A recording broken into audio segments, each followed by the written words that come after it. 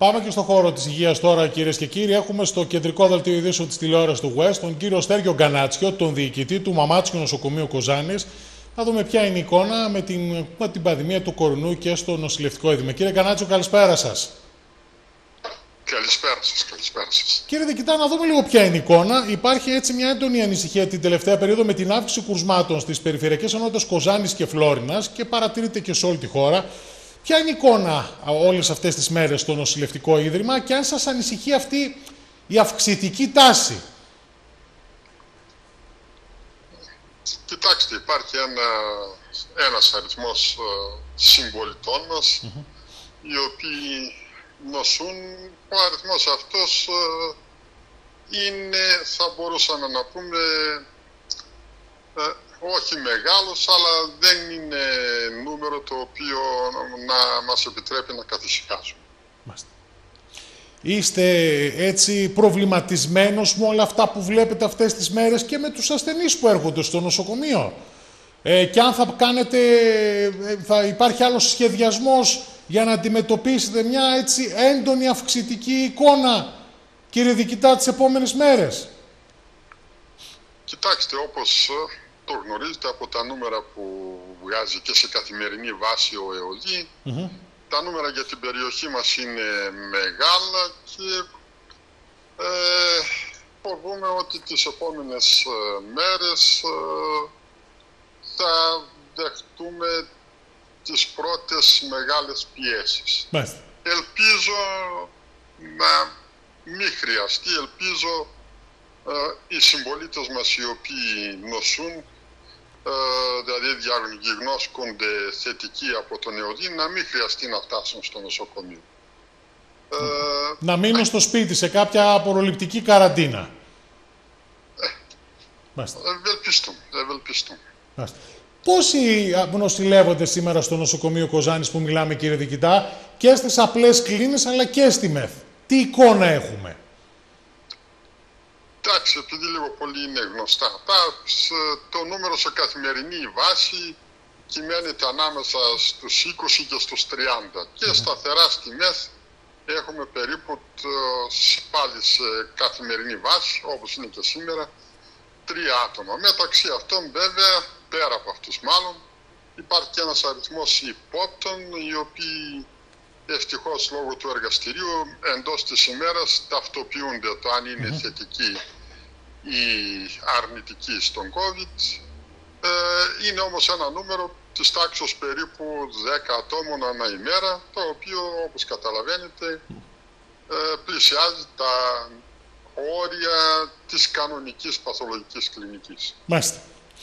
Τώρα κύριε Δικητά, επειδή θα δούμε αναστολές τις επόμενες ημέρες σε υγειονομικούς, σας προβληματίζει η εικόνα; Και τι εικόνα έχουμε πλέον στο νοσοκομείο; Αν μετά τις πιέσεις της κυβέρνησης βλέπουμε πλέον γιατρούς, υγειονομικούς, νοσηλευτικό προσωπικό να εμβολιάζεται.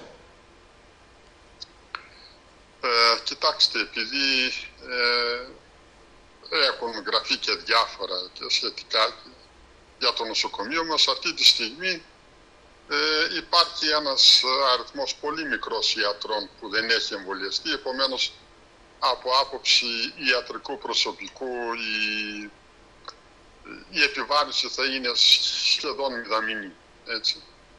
Ε, από άποψη νοσηλευτικού προσωπικού είναι ένας αριθμός ε, ε ο οποίος ε, είναι σχετικά Από την άλλη πλευρά βέβαια, ε, κατά τη διάρκεια της προηγούμενης χρονιάς έχουμε προσλάβει περίπου 130 επιπλέον άτομα, οπότε ε, με αυτόν τον αριθμό που έχουμε προσλάβει θεωρώ ότι ε, μεγάλο μέρος ε, της πίεσης θα καλυφθεί και δεν θα έχουμε ε, περιπτώσεις όπου δεν θα μπορεί να ανταποκριθεί το νοσοκομείο μας όσον αφορά το νοσηλευτικό προσωπικό. Μάλιστα. Άρα από όλους αυτούς τους ε, υγειονομικούς δεν έχει ανέβει κάποιο ποσοστό να πούμε ότι παράδειγμα ε, άρχισαν να εμβολιάζονται κάποιοι ώστε να μην υπάρχει δυνατότητα αναστολής τους; Δεν έχετε κάποια εικόνα με την έννοια ότι ήταν 50 και από τους 50 οι 20 πήγαν να εμβολιαστούν.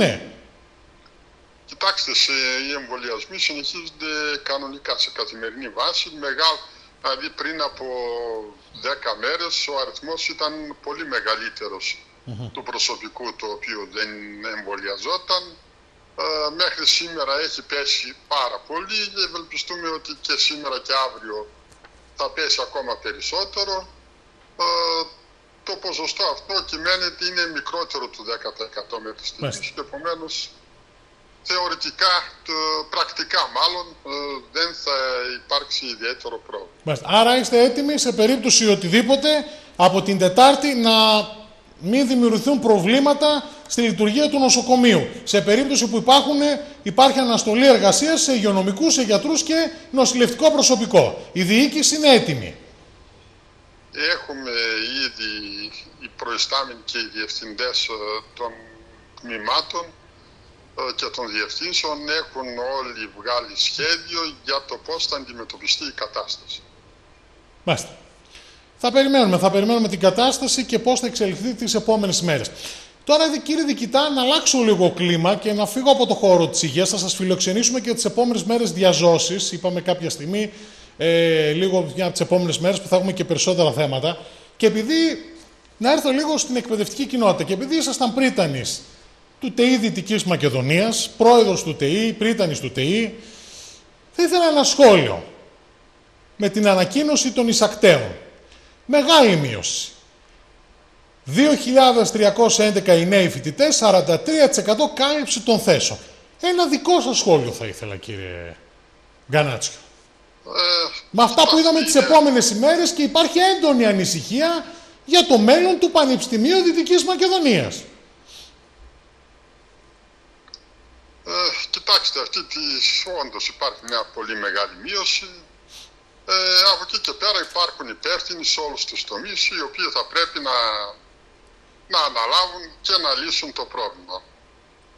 Αν δεν έγινε μέχρι τώρα, κακώς δεν έγινε ή δεν βρέθηκαν μέτρα αντιμετώπισης, από εκεί και πέρα πρέπει να βρεθούν μέτρα αντιμετώπισης για να α, μην ξαναπαρουσιαστεί αυτό το φαινόμενο. Υπάρχει δυνατότητα να υπάρχουν τέτοια μέτρα να μην δούμε αυτό το φαινόμενο ε, από τους ε, 5.390